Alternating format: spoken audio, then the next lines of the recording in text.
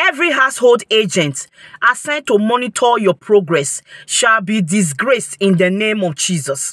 Before you leave your house, make sure you do this declaration and you cannot go wrong with it. You will come back home with happiness and joy. You don't need too much. Get me your Bible and sugar, cube of sugar. Please, if you don't have a cube of sugar, you can take a pinch, a small grounded sugar, okay? To avoid too much question on the comment section. God bless you. Immediately you finish reading Matthew 7, verse 7 to 8. You're about to leave as I'm I'm about to go out now. Okay. Now, already you read your Bible. You read that verse inside your house. Or you are the type that have a pair of Bible inside your car. You can as well read your Bible while you do this. Immediately you are done reading it.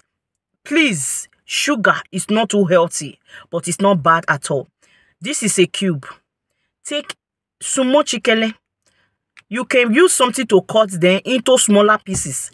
Don't do this very prayer with sugar on a daily basis. No, it's not healthy for you. You can do it first day of the week. That is once in a week or two times a month. Take a pinch, put it in your mouth. What you have to say is, Lord, the Bible verse told you something.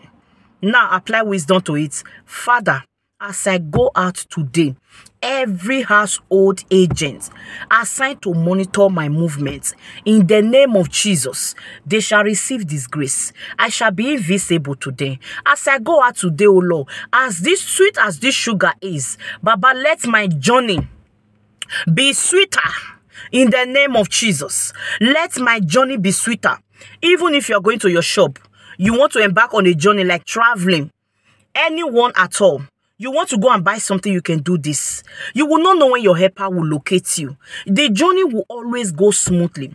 Somebody will say, why are you using sugar?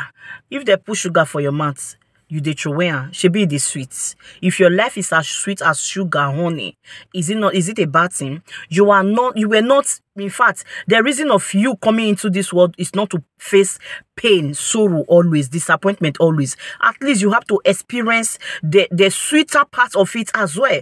As a child of god whoever you are go for this assignment. Make sure as you pray swallow the sugar don't spit it out. Let the sugar go into your body as I go out, Lord, let this journey be the best. You that went somewhere before and did not succeed, go ahead and do this. See, it is impossible to, to please God without faith. You must apply faith when doing this prayer. Knock, you will, the door will be open for you. Go ahead, swallow the sugar before you go out to your journey. Make sure you open your mouth and say, don't forget this. So shall it be in Jesus' name. The name that is above every other name. This prayer is what you can do every day. If your body system can contain the pinch of sugar you will take. But if not, do it once in a week or two times in a month. That is the reason why I said you don't have to use the sugar on a daily basis. But praying such prayers before going out is a, is a very perfect one. It opens